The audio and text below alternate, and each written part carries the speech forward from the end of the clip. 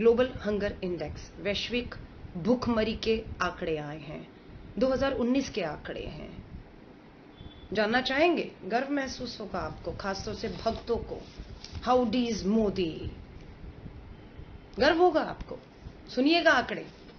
लानत भेजनी है या गर्व महसूस करना है? और हमारे पड़ोसी दुश्मन देश कहाँ खड़े हैं वो भी सुन लीजिएगा। ग्लोबल हंगर इंडेक्स में 117 देशों की गिनती हुई। विश्व के 117 देश।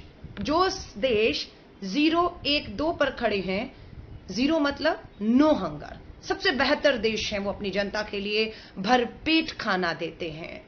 117 देशों में। क्या भारत पहले नंबर पे? दूसरे, तीसरे, चौथे, पाँचवें, पचासवें, साठवें, सत्तरवें, अस्सीवें, नब्बे, सौ नहीं। कहाँ खड़े हैं? 102 नंबर पर।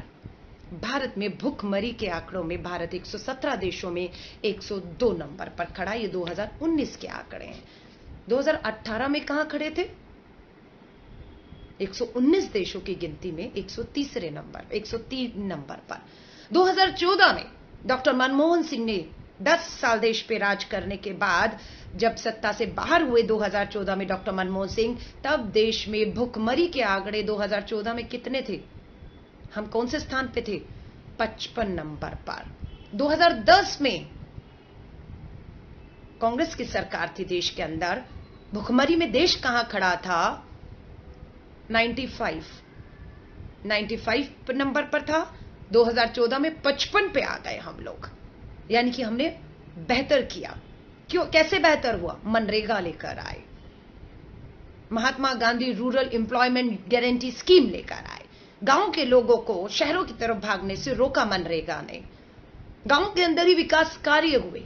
करने वाले गाँव के लोग ही थे। रोज़गार मिलने लग गया। विकास होने लग गया। भुखमरी के आंकड़े 95 पर जो थे हमारा स्थान 2010 में 2014 में 55 पर आ गया। पर क्या हुआ जब केंद्र में मोदी सरकार आई? 2014 के बाद आंकड़े सोवे स्थान को भी हम लांग कर चले गए भुखमरी के मामले में। झारखंड का ये ये झूठ नहीं था। चाइना कहाँ पर खड़ा है भुखमरी में? 117 देशों में चाइना 25वें नंबर पर है और भारत 102 नंबर पर। चाइना ने अपने देश के अंदर भुखमरी से लड़ना सीखा और लगातार लगातार भुखमरी से उसने लड़ना सीखा। रास्ते निकाले, उसका अंजाम निकला कि चाइना 25वें नंबर पर है। आए थे शी जिनपिंग जी। मोदी जी लेकर गए उन्हें। चेन्नई में मंदिर घुमाया। सांस्कृतिक कार्यक्रम, डांस दिखाया। उनके टूर गाइड बने रहे। उनको व्यंजन परोसे गए। मंदिर के अंदर नॉन वेज बढ़िया से बढ़िया पकवान परोसे गए।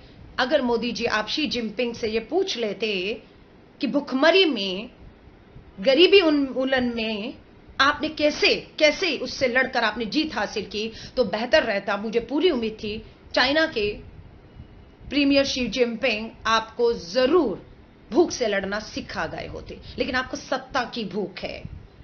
हाउडीज मोदी पे करोड़ों आपने खर्च किए? नेपाल भी पूछ लीजिए। चाइना नहीं तो नेपाल से पूछ लीजिए। बेहतर है नेपाल हमसे। हम अगर 117 देशों में 102 नंबर पे खड़े हैं तो नेपाल तिहत्तर 73 नंबर पर है। उसी से पूछ लीजिए। छोड़िए। बांग्लादेश से पूछ लीजिए। भुखमरी से लड़ रहा है, लेकिन हमसे बेहतर है। 88 अठासीवी नंबर पर है हम 102 नंबर पर है। श्रीलंका से पूछ लीजिए, पड़ोसी देश है। 66 पर नंबर पर है, और हम 102 नंबर पर है। पाकिस्तान कर्जे में है, डूब रहा है, कटोरा लेकर भीख मांग रहा है वो हमारा दुश्मन देश जिसे आप बताते हैं, वो 94 स्थान पर है 117 देशों में 94 पर, और भारत 117 में, मोदी सरकार के राज में 102वें पैदान पर खड़ा हुआ है। भारत कृषि प्रधान देश है। इस देश में कृषि, किसान आत्महत्याएँ कर रहे हैं। आय दुगनी होगी, कब होगी नहीं मालूम। अदानी अंबानी की दुगनी आय ज़रूर होगी, दुगनी नहीं, सौ गुना बढ़ गई है। किसान की आय कब दुगनी होगी मालूम नहीं। किसान आत्महत्याएँ कर रहा है, लोग भूख से मर रहे हैं। और इनके दिखावे, ढोंग, तमाशे, करोड़ों रुपए अपने विज्ञापन, अपने प्रचार, अपना, अपने समय नहीं आता खर्च करने से। जब देश पूरा, हमारी जीडीपी हमारे bank Punjab and Maharashtra cooperative bank का हाल देखिए। तीन लोग ने अपनी जान गंवा दी। लाखों रुपया मेहनत, ईमानदारी का पारदर्शिता के साथ बैंक में रखा है। कोई घर के अंदर बोरों में काला धन नहीं था उनके पास। खुलेआम बैंकों में था। बताया जाता है कि आप ही के, बीजेपी के लोग वहाँ के डायरेक्टर थे। लेकर भाग गए। एहसान करते हैं। कभी एक हज़ार निकाल सकते हैं छह महीने में, कभी दस हज़ार निकाल सकते हैं, कभी पच्चीस हज़ार रुपया निकाल सकते हैं। लोगों की कमाई का पैसा है। डकैत और चोर बने हुए हैं केंद्र की भाजपा सरकार। एक एक लोगों को लूट के इस देश को जो है, वो जाने का मौका दे रहे हैं और देश में किसान आत्महत्या कर रहा है और गरीब भूखमरी से मर रहा है कि आज ग्लोबल हंगर इंडेक्स में भारत 102 नंबर पे खड़ा 117 देशों की गिनती में। ये दिया है देश की भाजपा और मोदी सरकार ने हमें 2014 से 2019 में भक्त कहते हैं, प्रश्न मत करिए। दम हो तो हमारी आवाज़ को खामोश करके दिखाइए। आवाज़ तो उठेगी, सत्ता सौंपी है और हमसे पूछते हैं, आपके पास हल क्या है? हल हमसे पूछ रहे हैं। सत्ता से बाहर हो जाइए। हल एक नहीं, हल ऐसे बहुत ज़्यादा पढ़े लिखे, ईमानदार युवा हैं जिनके पास हल है। हमारे बहुत से ऐसे लोग हैं जो आपको लगातार सुझाव दे रहे हैं, लेकिन आप सुनने को तैयार नहीं आपके कान में जू नहीं रेखती आपको विदेशी दौरों से, अपने प्रचार प्रसार से, विज्ञापनों से, करोड़ों रुपए के चुनावी भाषणों से, और आपको दूसरे विदेशी नेताओं की आवाजाही से फुर्सत नहीं है। कभी डिस्कवरी, कभी बीबीसी की शूटिंग, कभी मोम के पुतलों को घंटों में बनाया जाता है। समय है कहाँ आपके पास? समय होता तो देश में बहुत से लोग हैं चाइना, बांग्लादेश, श्रीलंका, नेपाल के नेताओं से मिल रहे हैं। पूछ लीजिए उन्हीं से। पूछ लीजिए उन्हीं से। और कहते हैं, आप प्रधानमंत्री से कैसे बात करती हैं? कौन है प्रधानमंत्री? कौन बनाता है प्रधानमंत्री? यह जनता बनाती है देश की प्रधानमंत्री। चुनाव में गिड़गिड़ाते हैं इस आम, गरीब, जनता, किसान के पैरों में करके गिड़गिड़ाते हैं, भीख मांगते हैं वोटों की। और जब वही जनता आपको इतने उच्च पद पे बिठा देती है और प्रश्न करती है तो आप हमसे हमारी औकात, हैसियत पूछने लग जाते हैं। बिल्कुल ये गरीब की आवाज़ बनकर बोल रही हूँ। अस्सी रुपए प्याज? अरे, गरीब प्याज तोड़कर रोटी खाता था। वो भी अस्सी रुपए। टमाटर साठ रुपए। अलका लांबा को फ़र्क नहीं पड़ेगा।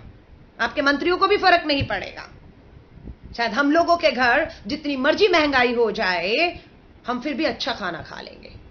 चिंता उनकी है जिनके रोज़गार चले गए। चिंता उनकी है जिनकी बैंकों का पैसा लुट गया। चिंता उनकी है जहाँ पर किसान आत्महत्याएँ कर रहा है। चिंता उनकी है जहाँ पर संतोषी जैसी बेटियाँ माँ कहती है, भात भात करते करते भूख से मर गई संतोषी।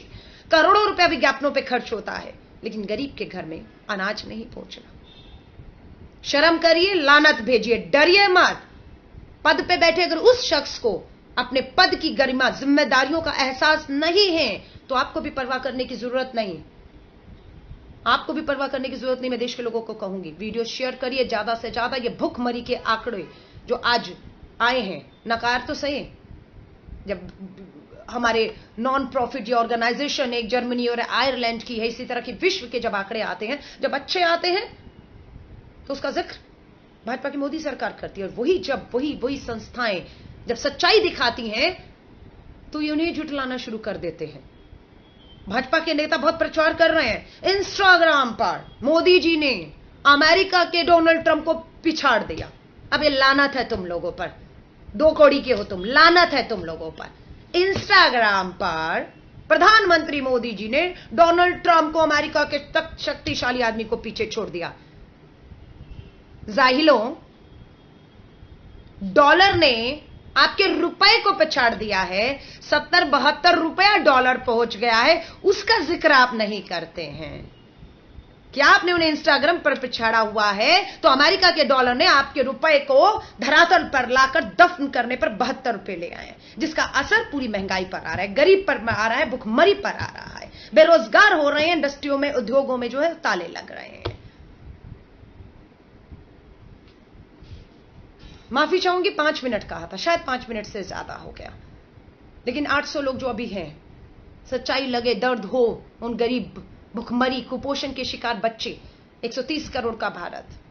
जानते हैं, आबादी बढ़ेगी, जरूरतें बढ़ेंगी। लेकिन जवाब दें, ज़िम्मेदारी से क्या सरकारें मुँह मोड़ लेंगी? नहीं, हल, सत्ता छोड़ दीजिए। बहुत लोग बैठे इस देश में।